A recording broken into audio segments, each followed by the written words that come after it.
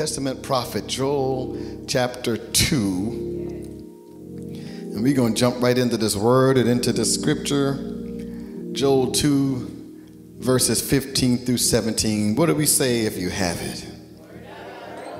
Somebody say word up. Somebody else want to say something different. Bring the book. To God be the glory. The Bible says, blow the trumpet in Zion Sanctify a fast. Call a solemn assembly. Gather the people and sanctify the congregation. Assemble the elders. Gather the children and those that suck their breasts. Let the bridegroom go forth of his chamber and the bride out of her closet. Verse 17 Let the priests, the ministers of the Lord, weep between the porch and the altar and let them say, Spare thy people, O Lord. Let us stop right there. Father in heaven, we thank you for your word.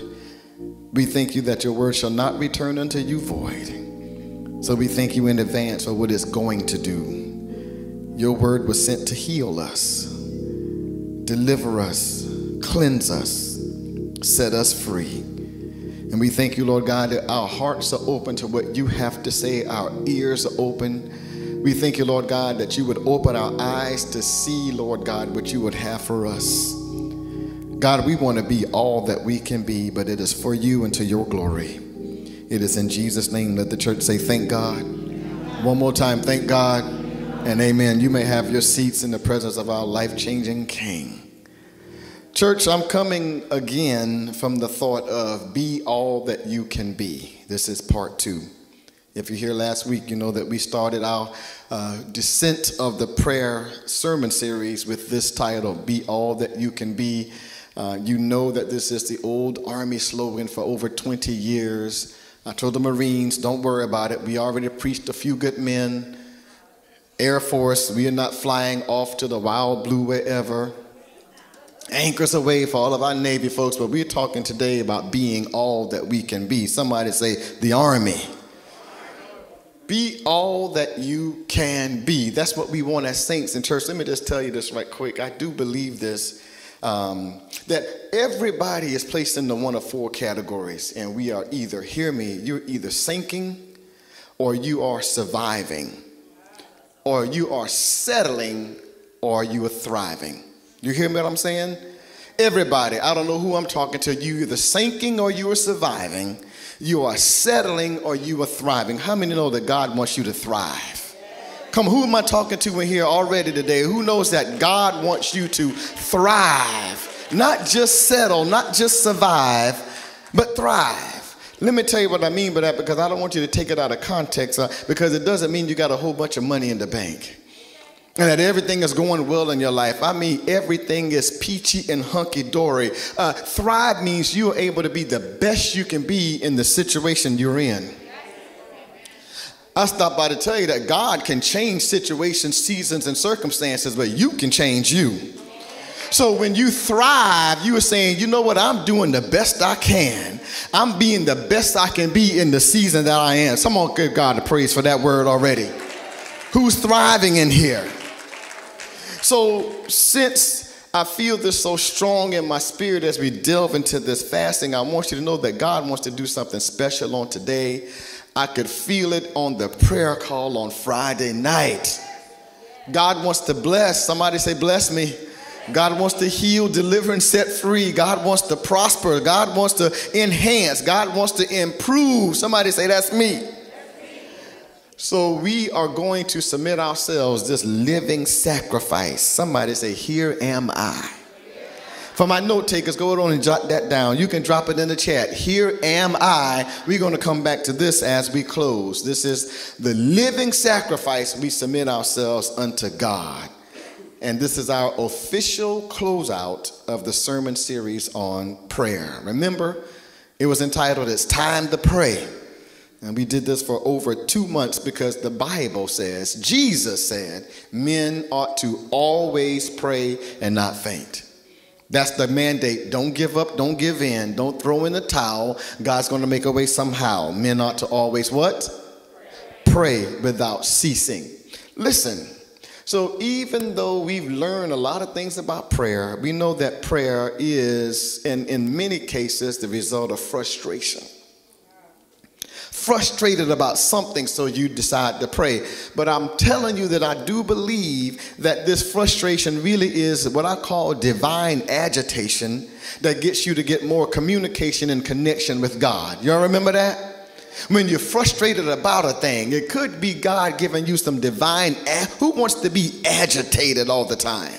Well, perhaps it's God giving you some divine agitation so you can have more communication and connection with God. Prayer, most people say it's just talking to God. But I stop by to tell you it's more than just the conversation with Him. Somebody say amen. Prayer is more than just talking to God, prayer must be strategic meaning we've given some careful thought about the opposition and the outcome. Now, I know we're Christians. We're not supposed to be so focused on the devil, the adversary, but the Bible says for us not to be ignorant of Satan's devices. Satan has a strategy. The Bible says, listen, he comes but not but for to steal, kill, and destroy. The Bible says Satan desires to have you to sift you as wheat. The Bible says the adversary is walking around like a roaring lion seeking whom he make. The devil has a strategy. So, since we know he has a strategy, then we must be strategic with our prayers. Because if you are just talking to God, you are praying without a strategy, and you could be praying amiss. And we haven't talked about this in these two months about prayer, but we can't close out without your understanding. If you're just talking, if you're just having a communication with God, if you're just asking for things, James said, be careful. He says, You ask, but you receive not because you pray amiss. James chapter 4, verse 3. Make sure you mark that in your Bibles because he's saying that you shouldn't pray, but he says, Be careful because you're asking, but you're not receiving, it is because you're praying amiss. It says, then you consume it upon your own lust. We taught that lust doesn't have anything to do with sex entirely, it means just what you want. What you want. Meaning, we shouldn't pray with the wrong motive. We shouldn't pray selfish prayers or unrighteous prayer, nor should we, watch this, pray a prayer asking God for something to approve that we already know what we're going to do. Am I in the church on today? You know how you already go ahead commit to do it down, ask God to bless it. God said, No, no, no, that's your mess. I don't bless your mess. Somebody say hallelujah. Church, did you know that the only prayer, God only answers one prayer? Is it forgiveness? What is the God only answers one prayer, and that is his own. Did you hear what I said? It's only one prayer that God answers and his it's his own. I told you we must pray the word of God. It gets God's attention. You pray the word of God and the word reveals his will. And when we know his will, it shows us his way. Jesus said, I am the way. I'm the truth and the life. Ain't nobody getting to the Father except by me.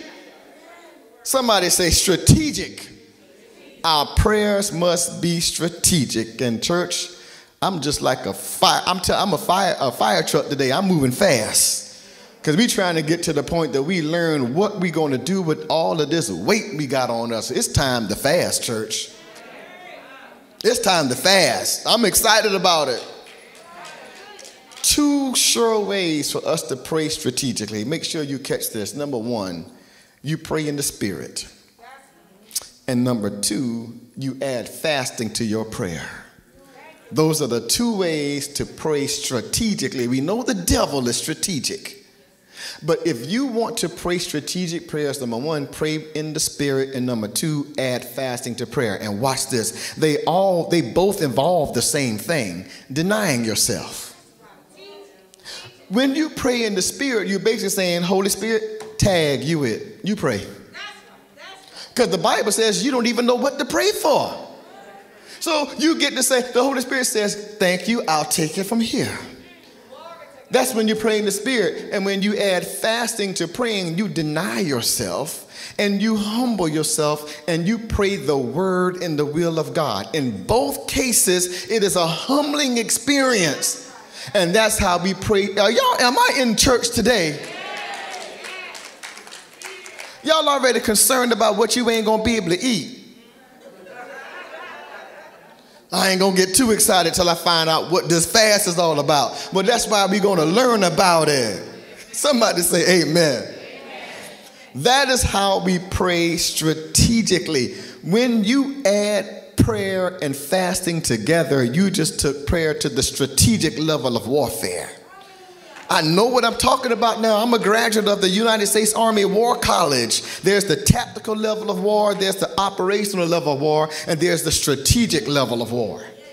And in the spirit, I do you know that there's a war in the heavenlies. And in the spirit, when you add prayer and fasting, you just took prayer to the strategic level. You ain't asking about no bills and no toys, no new car. Church, flip with me over to Jeremiah chapter 29. Jeremiah 29. Just flip there, you can follow along because all of you know this account. God says in Jeremiah 29 11, He says, For I know the thoughts that I think towards you. I know the plans that I have for you.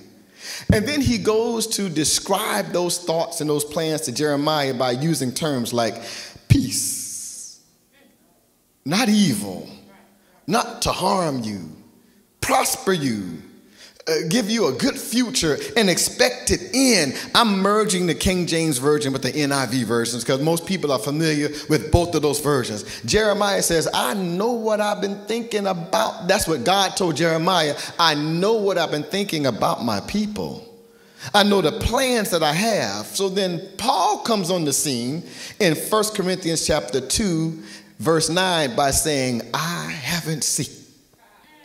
Ear has not heard, nor has it entered into the heart of men the things that God hath prepared. So God told Jeremiah, I've been thinking.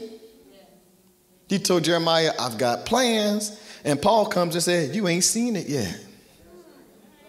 You haven't heard about it yet. It hasn't even entered into your heart yet for the things that God hath prepared for those who love him. Somebody say, I love him. So then, what was Paul talking about? I don't know, but I can tell you if he is talking about what God told Jeremiah, then I want to see it. If Paul is talking about what God told Jeremiah, then I want to have it. If Paul is talking about what God told Jeremiah, I want to feel it, I want to experience it. Who's with me? Are you seeing this? And if you want to see it, hear it, have it, feel it, experience it, you've got to make up in your mind that nothing, no devil in hell, and no one is going to stop you from getting it. What God has for you is not up to the church. Somebody say, Amen. But if you know the story from Paul in verse 10, he said, Now, I hadn't seen it, and ear has not heard it, and hadn't entered into your heart yet, but God has revealed it. Paul is trying to be tricky here with this language so you understand um, you won't get it this way, you're going to get it that way. What is he saying? He says um, you're not going to be able to pick it up in the natural senses, the five senses. You're not going to be able to see it with these. You're not going to be able to smell it, hear it, taste it, feel it. But then Paul says he has revealed it. Did you know that you have spiritual senses too? Hallelujah. Paul is saying now he's hidden it from your natural senses and he's revealed it to your spiritual senses. You, you have spiritual senses. The Bible tells us to oh, taste and see that the Lord is good. That's a sense. Uh, somebody wrote a song that says, Look like I can feel the breaking. Of, that's a sense. You've got spiritual senses. Uh, the Bible says, I think I hear the sound of the abundance of rain. Did you know that you had spiritual senses? It's called discernment. That's why we fast and pray, church we can't be on the fast all the time. It's got to be temporary so that we go through this exercise of removing the clutter letting go of the baggage and the luggage, getting, getting yourself over the offense, forgiving the person you should have forgive, get, forgiven 18 years ago, getting over that one comment that was made to you in the morning that ruined your whole day. No, you didn't have a bad day, you had a bad one minute, but you milked it all day long. The fast helps us to put that stuff away. Oh, I had a bad day. No, you just somebody stole your park at 8:15 and it's 6:15 and you still mad. In our text, the prophet Joel said, Blow the trumpet in Zion. Y'all better be glad Elder Merle Trumpet is back in the back. Blow the trumpet in Zion, sanctify a fast, call a solemn assembly. He said, Gather the people, that's everybody. Sanctify the congregation, assemble the elders, gather the children, and those that suck the breast. That means even get the babies, get everybody. Listen, let the bridegroom go forth of his chamber. Stop the marriage, stop the wedding, and the honeymoon. Let the bridegroom go forth of his chamber and the bride out of her closet. Let the priests, the ministers of the Lord, weep between the porch and the altar, and let them say, Spare thy people, O Lord. There, here it is, church. Look at your neighbor and say, Here it is. This is the call for the fast. So here we go. Strap on, we moving fast. Let's afflict our soul. Say amen. amen. Let's get this weight off of us. Somebody say amen. amen. Now, some people weren't here last week, and I need to make sure I'm clear. But the weight that I'm talking about is not seen on the scale. You have some weight that's been weighing you down that has nothing to do with your bodily weight. Amen. Come on, you got issues because your mama didn't love you. You got issues because your daddy didn't affirm you. You got issues because your third grade teacher said something about you. You got issues. And the Bible says we got to set that weight aside because it so easily besets us. Amen? So, who's ready to get this weight off of you? Who's ready to get your soul under control? Who's ready to humble yourself and deny yourself? You know, Michelle Obama said, when they go low, we go high. But let me tell you this no, we go low, then God will take us high. You humble yourself, and God will exalt you and lift you up. We're going to remove all the blockage and all the distraction so we can see and hear from God. Paul says that God has revealed some things that you can't see. You shouldn't be satisfied. God has said some things that you can't. You shouldn't be satisfied. Somebody say, Teach us, Lord. Listen, in my estimation, one of the most profound, prolific, and charismatic Christian thinkers and communicators is the late Dr. Myles Munroe. And listen to this now. He is quoted as saying, When purpose, say purpose, when purpose is misunderstood, abuse is inevitable. Abuse, what is that word? Abuse is a shorter version of the phrase abnormal use. You take the microphone and try to comb your hair with it. That is an abnormal use of the, of the microphone. In other words, you will always misuse, mismanage, or abuse what you don't understand. That's right. That's right. You with me? Things that you don't understand, that you're ignorant of or about, you will abnormally use it or abuse it. So then we must understand the fast. What is the fast? I hope they're going to get it up on the screen. The fast is, listen, the willful, not because I called it, the willful, temporary abstaining from natural habits and pleasures for a spiritual purpose and outcome. You see that? The fast, a willful and the most important thing, temporary, abstaining from natural habits and pleasures for a spiritual purpose and outcome. The fast. It is most associated with food, but we will see by way of revelation that the fast includes food, but it goes beyond food. I told you last time when you pray, you're asking God for more of Him, you're asking God for more from Him. But when you fast, you give God more of you. The whole thing about the fast is about an exchange. I don't want to call for a fast and not explain to you what the fast is all about. It is denying yourself, the flesh, the lust, cutting people off, cutting things off so your spirit can come forth. Don't you want to be all that you can be? Don't you want to be the best that you can be? So the fast is a God mandated exercise, and we don't want to misuse, we don't want to abuse the fast because you may lose some bodily weight but that's not the goal. The fast is not a torture because I'm not eating. It's, it's not a miserable experience. It's not just the diet.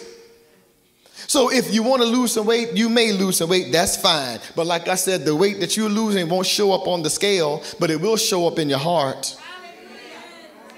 The weight that we're going to lose, it might not show up on the scale, but it will show up in your attitude. It will show up in your reaction and your responses. When somebody does you wrong, you sit there and say, you know what? You used to say, I could, but I won't. Now you say, I don't even want to. The weight that we see, some of y'all don't want to lose the weight because even as a Christian, you say, I wish you would say something to me. No, you don't. We already talked about being Mary's most. I could snatch her, that's immature. But the son say, I don't even want to. I'm mad that I even thought about snatching her. I got to grow. Oh, y'all ain't ready to grow. Y'all ain't ready to grow.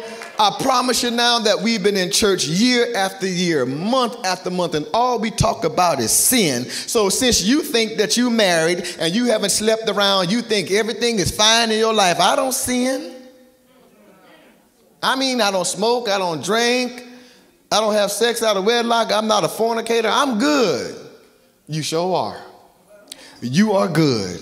But it's got one too many O's. We're looking for people who are godly. Godly.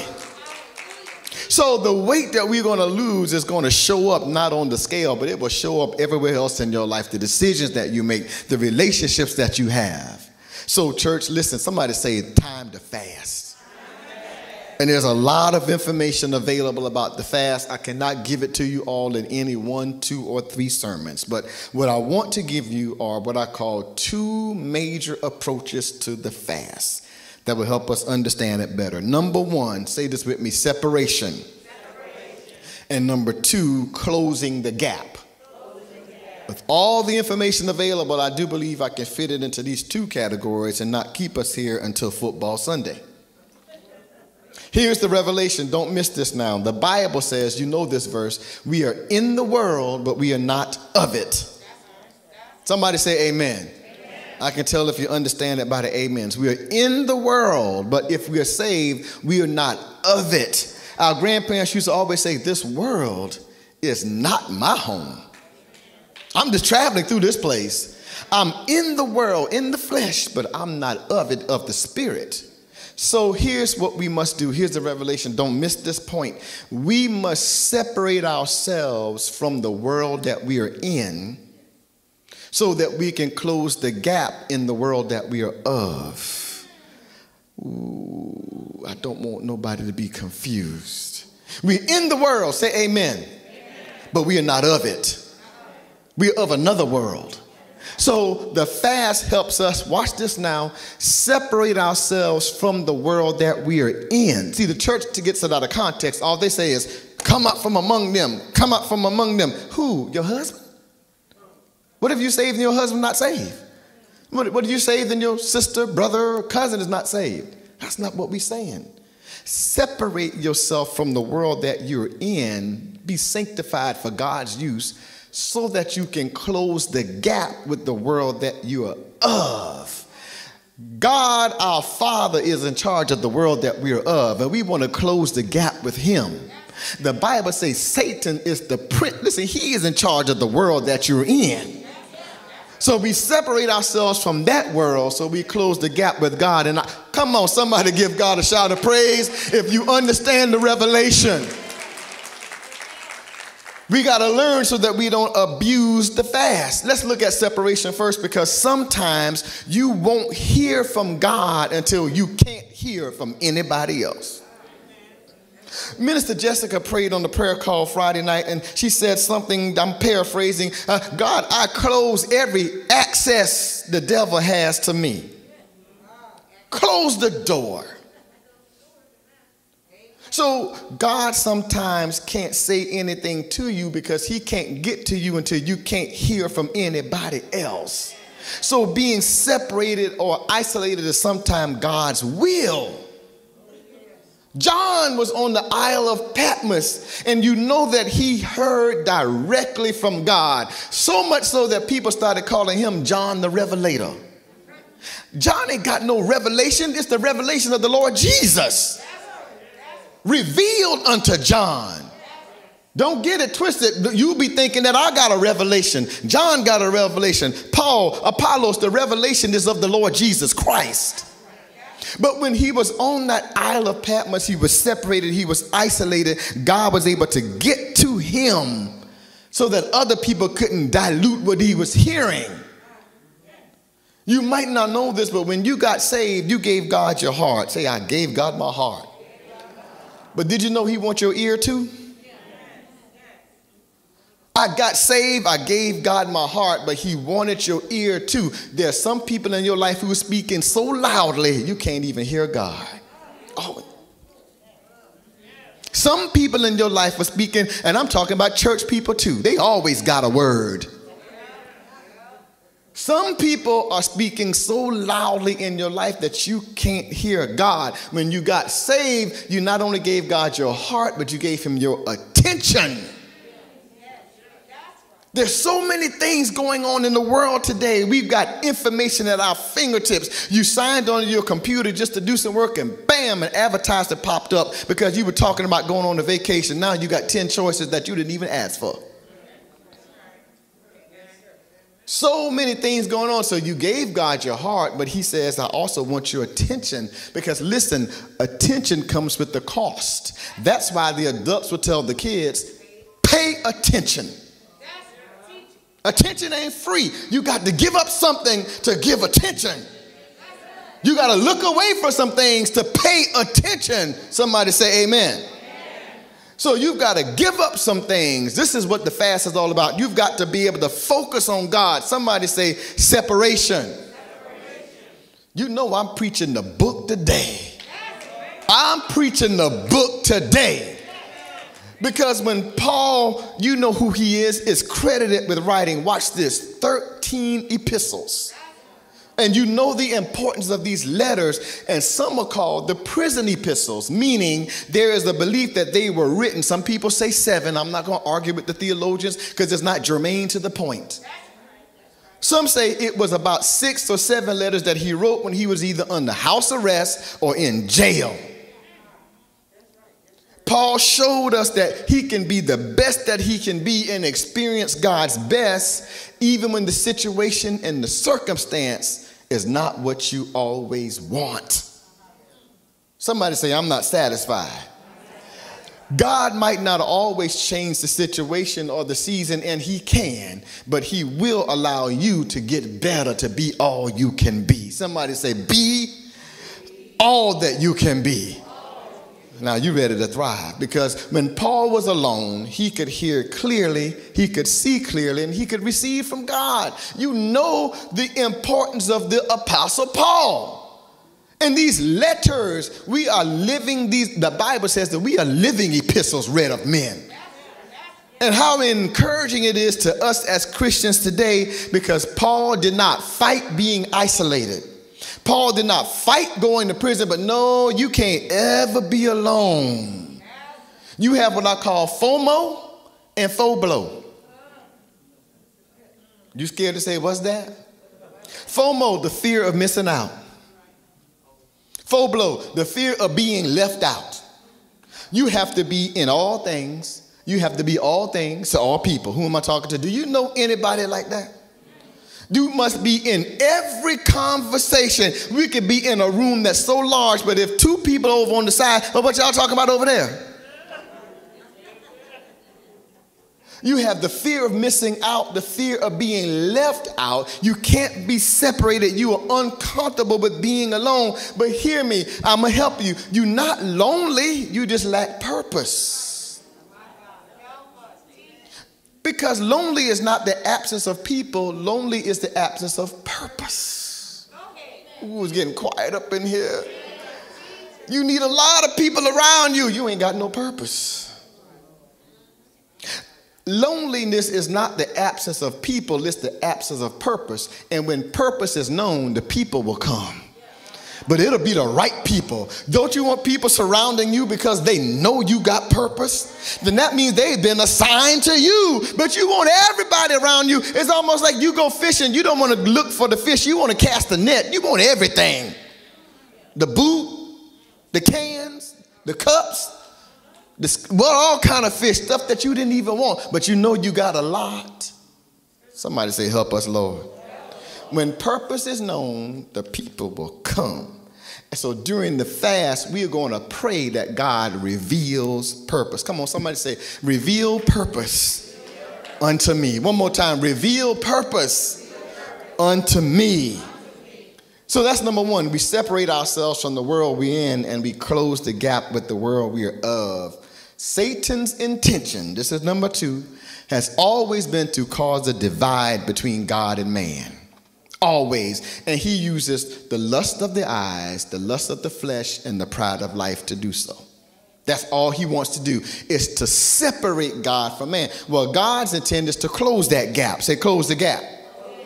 And he uses prayer and fasting and denying ourselves. Jesus said, No flesh so glory in my presence.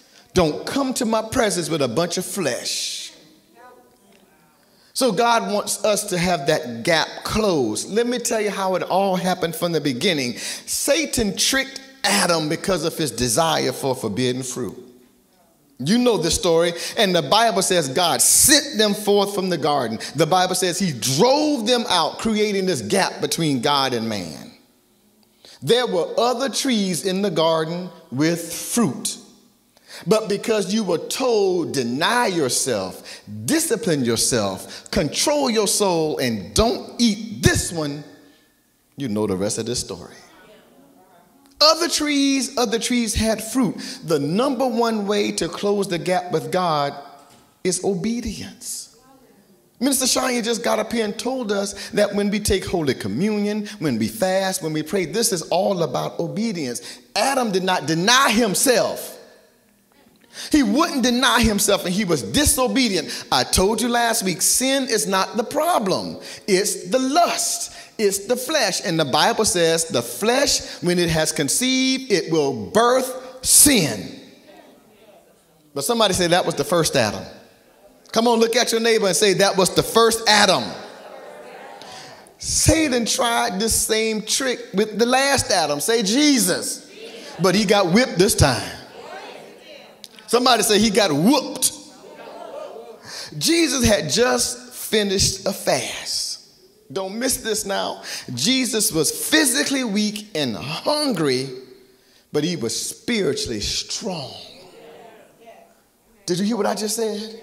He fasted 40 days and 40 nights. Jesus was weak and weary. He was physically weak, but he was spiritually strong on that mountain. But in the garden, Adam was physically strong, but he was spiritually weak.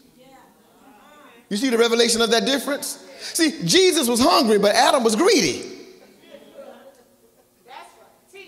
He was physically weak, but he was fit. See, here's what Adam didn't understand Jesus was physically weak and weary, but that's the lamb.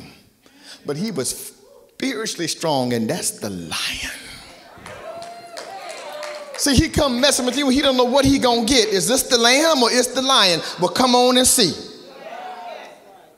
Come on and find out which one is gonna be. Pull up.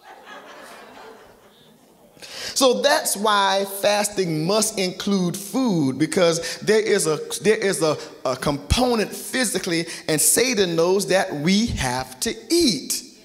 After Jesus had his encounter with the woman at the well, all day long, back and forth to her about water, about husbands, about mountains, about worship, the disciples came to Jesus and said, All right, now, Jesus, it's time for you to eat. And Jesus said, Oh, I have meat that you don't know of. The disciple said, Did I miss something? Did one of y'all give the master something to eat? Jesus said, Don't worry about it. My meat is to do the will of the Father who sent me. You go ahead on and eat your Twinkies and your Capri Sun. You need a snack. You ain't done nothing. I'm the one that ministered to the woman at the well. You stood there trying to figure out what was going on and what's going on with her husband. See, you standing there judging. I did all the work. Go ahead on and get your snack. But my meat is to do the will of the one who sent me and to finish his work. There's a meal that I can get that you don't understand yet. This same Jesus, the way he whipped Satan, he said, Listen now, um, I know you coming to me while I'm hungry and you bringing up bread. See, when you on a fast, you got to be careful when somebody bringing up something to eat all the time. That's why you got to separate yourself. You know we fasting, we work in the same office, and here you come as Zaxby's. I'm not mad at you if you're not going to observe the fasting. Can you at least help me get through it? Y'all better find some people to be around. It's not going to be easy if you don't separate yourself. Jesus told Adam, um, told Satan, uh, men shall not live by bread alone, but by every word that proceedeth out of mouth of God. Do you know that you can live off the word? Did you know that you can live off the word? Get yourself in that word and you'll forget you haven't eaten today. Y'all ain't want to talk. The devil is a liar. The devil is a liar. God is exalted. And listen, even when we are depleted, we'll never be defeated. Even when you're depleted, you will never be defeated. But we must be obedient. So let's look at it, church. I'm ready to get into this fast because it draws us closer to God. Because we separate ourselves from the world that we are in and we close the gap in the world that we of. Jesus taught the disciples to pray because they asked him, Lord, teach us to pray. And if you look at the account in Matthew chapter 6, as soon as he, he taught them to pray, he said, and this is how you fast. He put them together. Look at Matthew 6, verse 16. I'm going to keep going quickly. It says, This is Jesus talking. Moreover, when you fast, now he's talking about what not to do. Take note. Be not as the hypocrites of a sad countenance, for they disfigure their faces, that they may appear unto men to fast. Verily I say unto you, they have their reward. It won't be what they're looking for. Verse 17, but thou, when thou fastest, anoint thine head and wash thy face, fix yourself up. Because some people, when they don't eat, they feel they really get sick. They start feeling real bad and sorry for themselves. They don't pick up their feet when they walk. They don't get dressed. They just got on a robe. And I think they get a temperature and they just sort of kind of like just. And then some people go out just like that. I'm fasting. Y'all pray for my strength. I'm fasting. You know we got to fast at the church. I'm, Jesus said, don't do that that thou appear not unto men to fast, but unto thy Father which is in secret, and thy Father which is in secret shall reward thee openly. So, church, I'm done teaching. I hope you know what you need to know about the fast. Because we're going to go into some instructions. The spirit and the soul. We, we gave you this whole presentation during the Merismos. Say, spirit, spirit. soul they both have an insatiable desire. Oh, your spirit wants God. It does. And your soul wants everything else not like God. So the focus during the fast, watch this, is to feed one and starve the other. Feed the spirit and starve the soul. You've got to understand that this is about your time, your treasure, and your attention. So here's the goal. Y'all ready for the goal of the fast? And, and whatever information is up on the screen will also be available at the Welcome Center when you leave. I didn't want to uh, pass it out and, and get all in my feelings because you say I don't need one. It's not about me. So it's at the Welcome Center, and we don't have cameras. So just grab one on your way out if you desire to participate in the fast. This is a willing, temporary abstaining of natural habits and pleasures for a spiritual outcome and result. Amen? Amen. So here's the goal knowing, say, knowing. Knowing what consumes the majority of your time, say, your time, your attention your energy. Give as much of yourself to God daily. That is the general goal for our fast. Knowing what consumes your time, energy, effort daily. So that means I can't listen. So uh, I'm going to use this term. I'm giving you information that's called a, pre, a description, not a prescription. There's a revelation of a difference. The doctor says, Here's your prescription for the medicine. Take two by mouth with food four times a day. That's a prescription. Uh, the doctor doesn't say, well, here's some medicine, just sort of kind of do what you need as needed, right? So, what I'm giving you is not a prescribed fast, it is a described fast. I'm describing it. You know you. I don't have the authority to stand above you and tell you, no social media. I, I can't do that. I might need to do that for myself. I think I do. Amen? But I can't prescribe it for you. So here we go. Knowing what you know about yourself, use this as a guideline. Let's look at our base scripture, and everybody got to capture this. Base scripture in Ezra chapter 8, verse 21.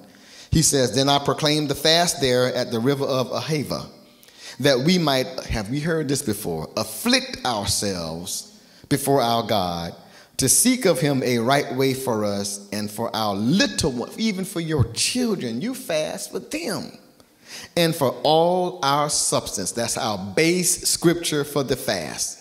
So here are the instructions. Number one, separate and consecrate yourself from 6 a.m. to 6 p.m. Look at your neighbor and say, Oh, that's not bad. No food, only water, herbal teas, and non sugary drinks from 6 a.m. to 6 p.m. Look at your neighbor and say, That's not bad. All right, so when we say no food, only water, herbal teas, and non sugary drinks, mm, please understand that the caveat is if you're under doctor's orders, please adhere as best you can to your doctor's orders. Eating, taking medicine, whatever you will do, just do what the doctor said do. God knows. Amen. Can we do that? Okay, prayer, a minimum of three times a day. To some people, this is not a problem. So others, they just don't do it. So we want to just we want to make some improvement in this area. Prayer three times a day. So here's what we want to try to do: pray sometime in the morning. Say Amen. amen. Personally, pray again in the evening, but this time gather your family. Get your wife, get your husband, get your kids. Let's just lock in for the evening. Amen. And then in the middle of the day, if you are able to, around noon, everyone who works different schedules and has different things to do, try to stop what you're doing. I want us all to lock in and pray. It won't be a conference call. It won't be virtually. No, no computer streaming or, or conference call. Just God knows that the people that assemble here have stopped what they were doing and said a word of prayer. Church prayer is important. I promise you, God has directed us in what it is that I believe we should do. And I think I'm hearing from here clearly. And I'm putting it out this way so that you don't have to come back to me about exceptions and what ifs. Just do the best. Do the best you can. Amen. Finally, you know we already have intercessory prayer. Join us 7 p.m. September the 9th, 26th, um, 9th, 23rd, and 26th. I think those are Friday, Friday, Friday. 9th, 16th, and 23rd. Thank you for helping me. I'm so glad I got a wife that helps, sort of like the Holy Ghost. The Bible says the Holy Ghost is your helper. The Bible says when you find a wife, I mean, the Bible says God gave Adam a helper. So the Holy Ghost, your wife, come on, they about the same. September 9th, 16th, 23rd, 7 p.m. Join us for intercessory prayer. We're going to have some special topics to go through the fast. You guys got these instructions. I can't see what's on the screen, but y'all tracking? You tracking? So let me just give you this recommended prayer. Let's just say this together, just right where you are. Say, Lord, I decrease so you can increase in me. During this time of fasting, I empty myself of myself so you can fill me with your spirit, strength, and power. I look away from and close my ears to distractions so I can focus on you. Help me to use this time for growth, renewal, revelation, and healing. Come on, who means this? Who means this? Calm my anxiety about what I might be giving up or times of discomfort that I might face. In Jesus' name, amen. So, church, the desired outcome or results, we're going to go right back to Ezra chapter 8, verse 23 says, So we fasted and besought our God for this and was entreated, and he was entreated of us, which means he answered our prayer. You see what the base scripture is, and you see what the desired outcome is. I don't mean to be professorial, but I need to make sure you understand that God has laid this thing out in His Word. That's the outcome. What are we looking for? An afflicted and subdued soul under control. We're looking for physical health improvement. Watch this, this is so important. Physical health improvement from known or unknown ailments. Some people know they're sick, some people don't. The doctor has told some people they're sick. Others have not had a wellness check and you're sick. We pray that during the fast, God heals you and you didn't even know you were sick. Is that all right? Number three, spiritual growth, breakthrough, and revelation. I know everybody don't necessarily want to grow. No indictment, no shame. There's a huge segment of Christendom that believe that you've given your life to the Lord, amen. You're going to go to heaven when you die. That's wonderful. God bless you. But in order to be effective in the kingdom and make sure your kids go, make sure your cousin goes, make sure that you aren't the only person saved in your office. I mean, you really are okay with that. Things would be so much better at work if a couple more people got saved. So what you gonna do about it? There's always so much contention in our meetings. Mm-hmm. You the only one saved. What you gonna do about it? I'm gonna move on from that. Sharper spiritual senses, increased access to God, say closer to Him, a pure heart, clear heart, and mind. Let's give God praise for in advance for that outcome. That's what we want as an outcome. So let's talk practical and I'll get out of your way. Just some practical things. The fast is an exchange. It's an exchange. So if you give up the hour you have for lunch because you don't want to eat, you're not going to eat. You don't then go run all your errands and pick up your laundry. If the hour is given for lunch, then you give it to God. Go sit in your car and read your word. Or go in the break room and listen to a podcast of your favorite preacher. I don't know who that might be. No, no, no, no. Whoever is your favorite. Give that time to God. Let me give you another one. If you know every morning at 8:30 you in the line at Starbucks to get that um, venti, is that the biggest one? There's one bigger than that. Mr. Shine, what is it? It's one bigger than that.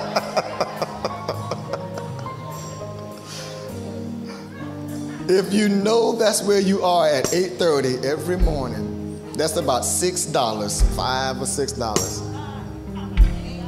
This is not a fundraiser for Victory Church, but listen to me, listen to me. Since you're gonna give it up, just take the six dollars and bring it here. Give it to God. That's the exchange that we're talking about. If you listen, it's not just bad things. If you work out every day, your day is consumed. Just take that one hour, two hour, if you can. Say, you know what, God? I'm doing a lot to get my physical being squared away, but I need to give this hour to you for my spiritual muscles. You can skip a couple of days at the gym. Y'all getting quiet on me?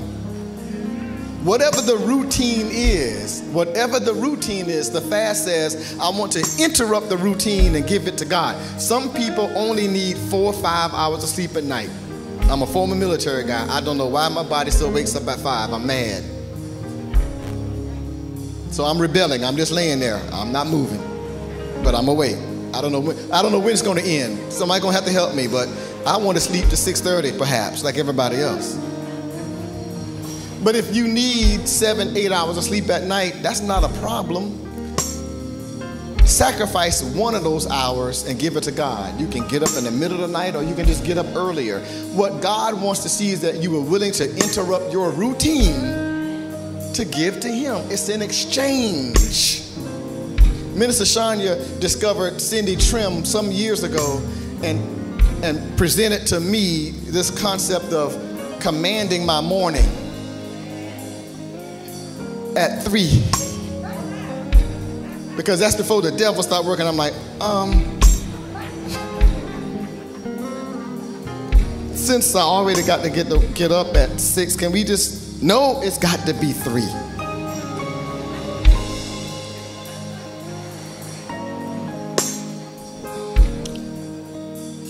The thing I want you to know is you know you. You know your routine, you know your schedule. So you decide what you want to give to God and it needs to hurt you. Somebody say amen. Come on, somebody say amen. Hey, thank you so much for watching this sermon. I really appreciate you being a part of our service on today. But listen, you don't have to stop there. Subscribe to this channel so you can know when we upload content or when we go live. Also, you can come and join us live at Victory Church at any time. Meet us at 11 a.m. right here at the V. And finally, please share this sermon with a friend. That way you help us spread the gospel to a dying world. Thanks again for watching, and God bless you.